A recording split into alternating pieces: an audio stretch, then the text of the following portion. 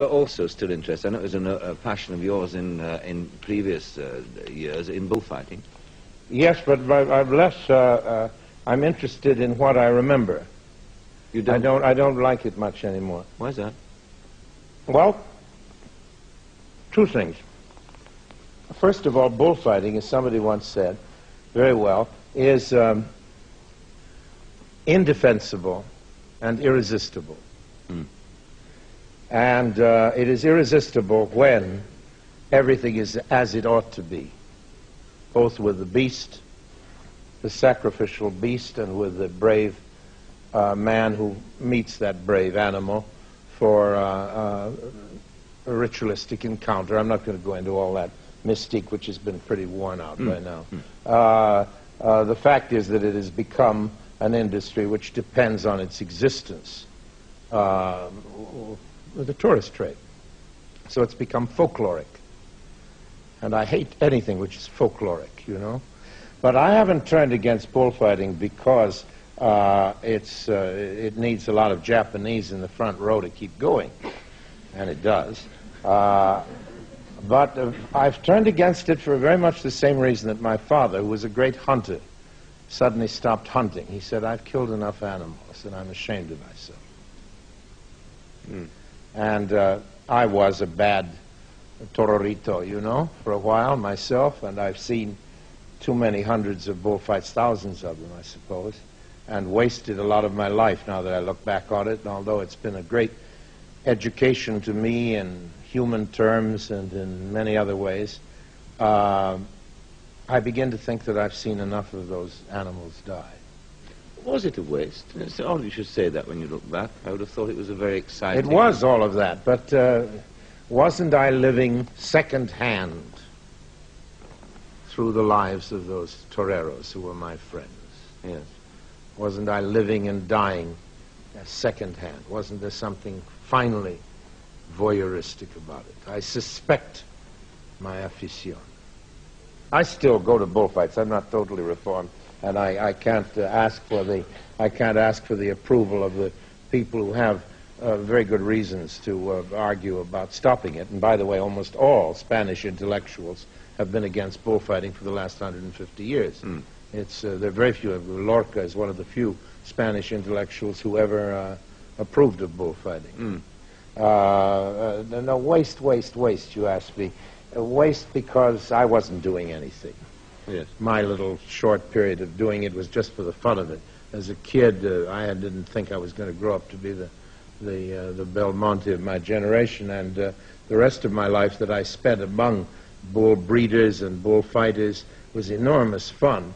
But um, what have I extracted from it that's of any value to anybody? What were the qualities in them, though, that, that, that you admired, that attracted you to them? Well, of course, my I'm, I'm uh, you know there are two kinds of, of uh, people who who follow the bulls, as as they say in Spanish. There are those people who follow because they love the bullfighters, and there is a very small minority who are interested in the bulls. And I was always most interested in the bulls. Now that will be incomprehensible to an English audience that somebody could be fundamentally interested in, in the animal who is going to be killed. But my interest in bulls was like the interest of somebody uh, uh, who is very keen and very knowledgeable about horses. I know a great deal about bulls, and am much more interested in them than in the men who fight them, in spite of the fact that some of the dearest friends I have in my life have been bullfighters It was- with the tourist trade. So it's become folkloric. And I hate anything which is folkloric, you know. But I haven't turned against bullfighting because uh, it's, uh, it needs a lot of Japanese in the front row to keep going, and it does. Uh, but uh, I've turned against it for very much the same reason that my father, who was a great hunter, suddenly stopped hunting. He said, I've killed enough animals, and I'm ashamed of myself.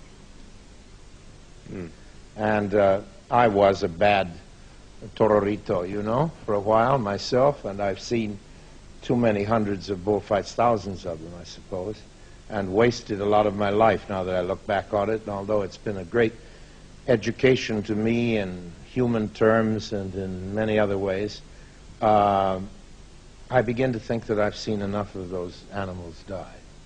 Was it a waste? It's odd you should say that when you look back. I would have thought it was a very exciting... It was all of that, but uh, wasn't I living second hand through the lives of those toreros who were my friends? Yes. Wasn't I living and dying uh, second hand? Wasn't there something finally voyeuristic about it? I suspect my afición. I still go to bullfights. I'm not totally reformed, and I, I can't uh, ask for the I can't ask for the approval of the people who have uh, very good reasons to uh, argue about stopping it. And by the way, almost all Spanish intellectuals have been against bullfighting for the last 150 years. Mm. It's uh, there are very few. Lorca is one of the few Spanish intellectuals who ever uh, approved of bullfighting. Mm. Uh, uh, no, waste, waste, waste, you ask me. Uh, waste because I wasn't doing anything. Yes. My little short period of doing it was just for the fun of it. As a kid, uh, I didn't think I was going to grow up to be the the uh, the Belmonte of my generation, and uh, the rest of my life that I spent among bull breeders and bullfighters was enormous fun. But um, what have I extracted from it that's of any value to anybody? What were the qualities in them, though, that, that, that you admired, that attracted you to them? Well, of course, my I'm, I'm uh, you know there are two kinds of, of uh, people who who follow the bulls, as as they say in Spanish. There are those people who follow because they love the bullfighters, and there is a very small minority who are interested in the bulls. And I was always most interested in the bulls. Now that will be incomprehensible to an English audience that somebody could be fundamentally interested in, in the animal who is going to be killed. But my interest in bulls was like the interest of somebody uh, who is very keen and very knowledgeable about horses. I know a great deal about bulls. Mm. And am much more interested in them than in the men who fight them, in spite of the fact that some of the dearest friends I have in my